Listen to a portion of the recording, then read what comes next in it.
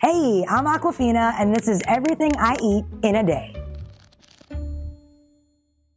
First thing I think I do when I wake up, I will kind of rub my eyes, and then I'll do a star, what I call a starfish. Oh yeah, one of those. It's usually a mixed bag with eating first thing in the morning. If there was a bag of raisinets, let's say from the night before, I'll sometimes be that person who, like, before I even open my eyes, like a hand's going in there and it's shoveling in. Or I could have like an entire pot roast at like 7 a.m. Like I'm one of those people.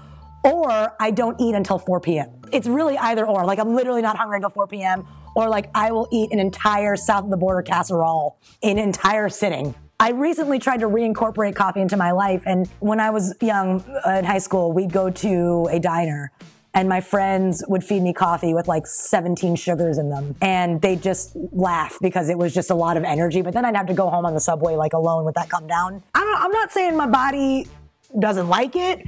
I don't like what, what it does to my body. I feel like sometimes it's very intense I feel like I'm tripping. And then sometimes you don't expect tea to have as much caffeine as coffee. That's like, you know, what you think. So then you have like six glasses of PG tips and then everything is purple. And my typical breakfast is something that is just really easy that doesn't need heat, like a Gatorade, some kind of chicken nugget. Also, avocado, man.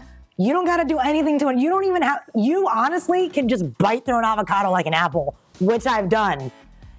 Not recommended, but avocados, man, those are room temp goddesses.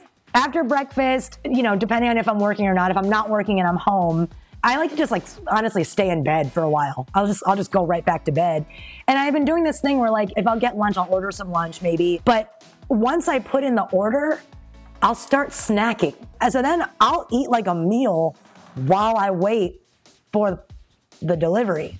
That's what how I spend my afternoons. I get very hangry. Yeah, that's it's like a totally different person. I'm very easygoing, very hey, what how are you? Oh my god, I'm so sorry about this. You know, the surgery on your legs. But when I'm hangry, it's like y'all need to leave. You need to leave. You thought I was nice, but really, I hate your bangs. I think they look like shit.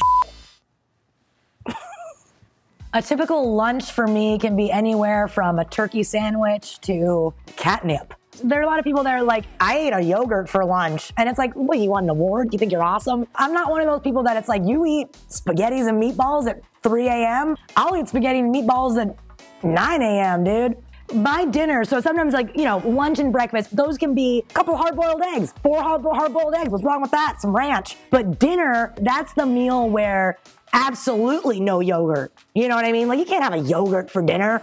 My dinners, they're humongous. That's like a Costco chicken, right? The entire chicken, right? And then you put that with all kinds of Annie's mac and cheese and all kinds. I'll eat all kinds of things for dinner, except for yogurt. When I was little, my grandparents owned a Chinese restaurant, and I was going in the back and you know steal fortune cookies or whatnot. But one time there was like this basin of pure MSG and I put my hand in it and I put the whole thing in my mouth. I ate the whole thing of MSG, a whole handful, and my tongue swelled up to the size of a raisin. I am still thirsty from that experience. Oh man, my favorite food city, I mean, New York City, obviously, because New York City is like the, the city that kind of prepares you for the food cities. So like when you go to a food city, you, oh, I, I kind of had this back in New York, you know? I always talk about this place because it's, it's actually the best place ever. It's called Taiwanese Gourmet. It's in Queens in Elmhurst. And it's basically a Taiwanese diner, like it's open in, until all hours of the night. But they do everything from like stinky tofu, like beef noodle soup. It's so good. Y'all gotta go. It's so good. Aside from that, I really enjoyed the food in when I went to Kuala Lumpur and Singapore. They have this dish called Hainan chicken, and there's another dish called uh, roti canai. I like am obsessed with. KL and it was definitely a cool food city for me. My go-to comfort meal. My grandma makes this thing in a rice cooker that I've eaten since I was really little. It's a Chinese sausage, and it kind of cooks with the rice and inflavorates the rice.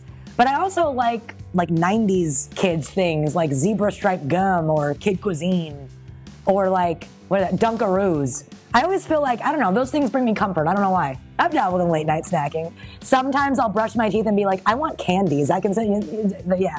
What I did the other night was I really wanted a cookie and didn't have any at the time. So I had an Oreo box with crumbs at the bottom and I put all the crumbs in my hand and I kind of like just shaped it into a cookie and didn't work